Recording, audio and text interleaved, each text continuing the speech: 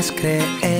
se hizo la posesión de las nuevas dignatarios de las asojuntas 2016-2020, seis urbanos, dos rurales del corregimiento del centro y el corregimiento del llanito. Eh, realmente pues es una gran misión que tienen ellos como segunda instancia eh, que tiene que ver en todo este tema de las asociaciones de juntas de acción comunal, el trabajo fundamental, el trabajo con los ediles, con las juntas de acción comunal, la representación que se tiene eh, ellos, sobre todo en el tema de conciliación entre las diferentes juntas y la representatividad que son las asojuntas para la ciudad. Entonces muy contentos con los nuevos dignatarios y pues deseándoles a todos que puedan ser unos verdaderos representantes y líderes en la ciudad. Esperamos que todos los proyectos que tenemos pendientes en nuestra comuna número 2 eh, estén a la mano para eh, poderlos ejecutar y con la ayuda del señor alcalde, que eso lo esperamos, creo que todas las juntas de acción comunal, especialmente la comuna número 2,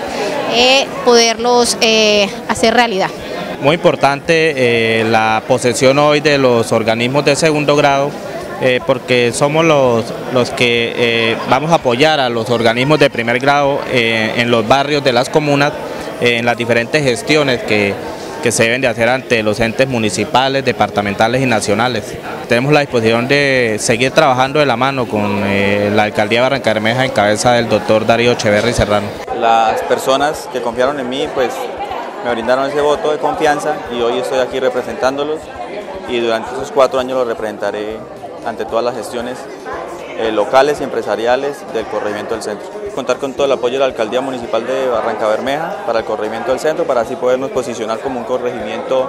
eh, que sea productivo y autosostenible con todos sus habitantes. Es la forma de, integrarnos todos en equipo para poder mejorar mucho la calidad de vida de los habitantes de nuestra área.